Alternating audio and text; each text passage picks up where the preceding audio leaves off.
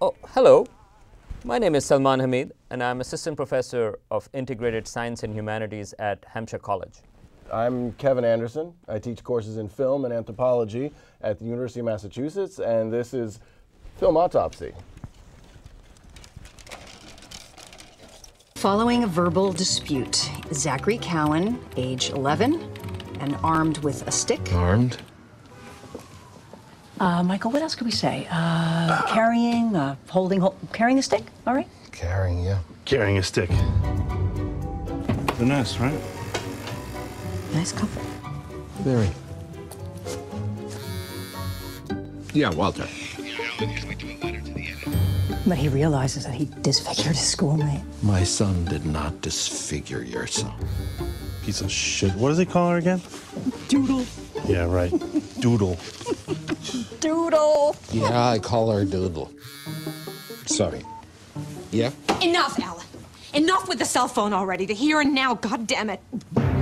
The victim and the criminal are not the same. I am son kicked the shit out of your son, and I wipe my ass with your human rights. Wow. I believe in the god of carnage. The god whose rule has been unchallenged since time immemorial. I got no patience for this touchy-feely bullshit. I'm a short-tempered son of a bitch. Alan, do something. Alan, do something. Oh, shut your mouth. Give a shit. Nancy, what are you? there. Shit. Oh my god. Where to go! this is what I think, Michael. I think I'm gonna vomit again. Freaking nightmare. You better watch it. He's got me right on the edge. What the hell are we doing here? I hope you're kidding. Hello, and welcome to a film autopsy of Carnage, a new film by Roman Polanski, based on a stage play by Yasmina Reza. It stars Jodie Foster and John C. Reilly as one couple, and uh, Kate Winslet and the wonderful Christoph Waltz as the other couple. Um, essentially, the film starts off in a playground in New York City um, where two boys get into an altercation. It quickly moves to the interior of an apartment, the apartment of John C. Reilly and Jodie Foster, who are the parents of one of the children uh, who was in the altercation, and John and um, Christoph Waltz and Kate Winslet play the parents of the other child that was in the altercation. So these four people have come together to resolve the matter in a rather civil way, in a fair and equal way, and not involving outside parties and lawyers and things like that. So it all starts off with a very good premise. The situation quickly and steadily unravels as each of these characters starts to shed their their kind of uh, their representation of, say, a, a particular you know social or political viewpoint about the matter.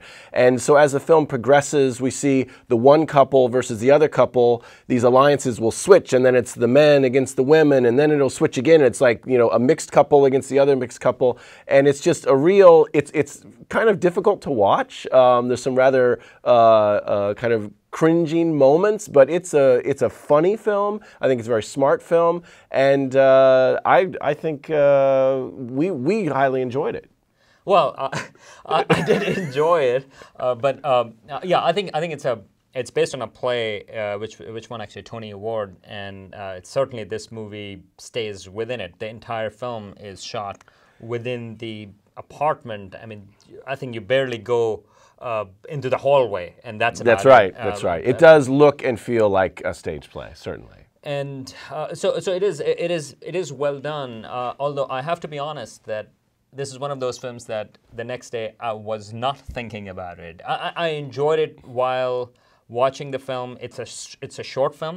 I think it's like uh, like 70 Yeah. like 80 minutes Uh, yeah, hour so. and 20 minutes. and i think that's wonderful because really if if you would have stretched this movie it would not have worked so in that sense um, it was great and i think uh, obviously the critique is of uh, yuppies or the middle class or however you want to uh, call them and and it does a, and it does get biting i think the satire is biting um, but uh, is it of a class of, say, for example, Buñuel films like you know uh, uh, The Discreet Charm of the Bourgeoisie, or um, even um, uh, Who's Afraid of Virginia Woolf? Yeah, I a slightly different type of a film, uh, but in that also, I mean, I think the writing is so sharp that this movie is a little bit mundane compared to both of those.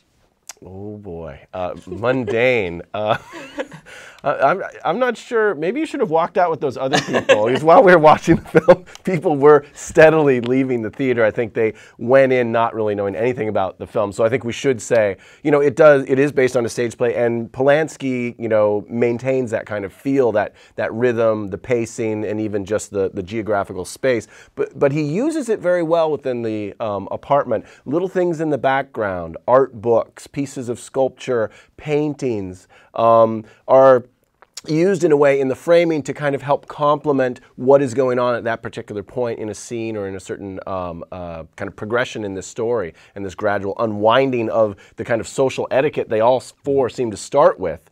Um, I will say that Christoph Waltz was certainly, while his perspective on the matter is certainly one I don't agree with, it was the most enjoyable performance to watch.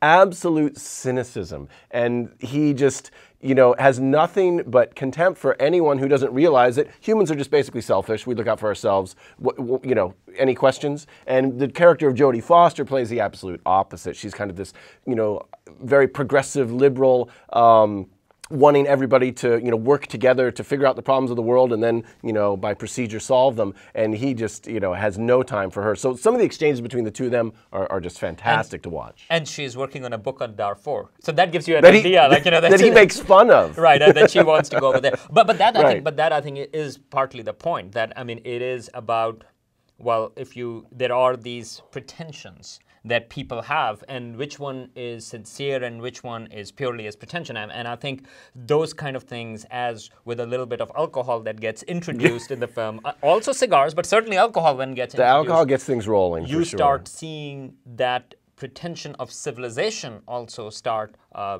Yep. r- uh, unraveling and i think that is what the movie is about. Yeah, and so and, and that the unraveling, but also the ideas about marriage and kind of the social etiquette that's supposed to go along with marriage and and uh, gender relations and politeness. It's it it. it it, it, it is it's a joy to watch. I can't believe you call it mundane. It's well, it just- is mundane. It's a, but you can you can have joy in some like sort of like mundane films too. I, I mean, I enjoyed it while I, uh, while I watched it, but but it wasn't a film. I, I didn't find it to be profound or certainly something to think about. Uh, Christoph Waltz. I mean, they were all fantastic actors.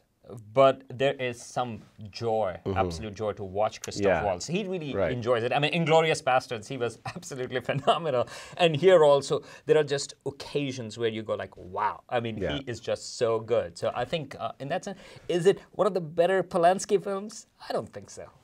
Well, uh, I will. List, maybe we'll just wrap it up, but I'll just say that uh, uh, John C. Reilly, I think, deserves mentioning because he goes into this film with these three, you know, Academy Award-winning, heavy-hitting actors, where there's really nobody else in the film, and he really holds his own in this lineup, and I think that was rather impressive. But John C. Reilly is an amazing actor. I mean, you're is, putting but him like, he's- you know, but he's he's not- like coming off of the street. I don't even think he's ever been nominated for an Academy Award. Not that that's the be all and end all, but Yeah. I mean, he must have felt a little bit intimidated walking onto set the first day playing against these three actors. So um, uh, I, I would I, I highly recommend yeah, Carnage. I mean, I, Go see it. I lowly recommend it. I mean, I, I sort recommend it.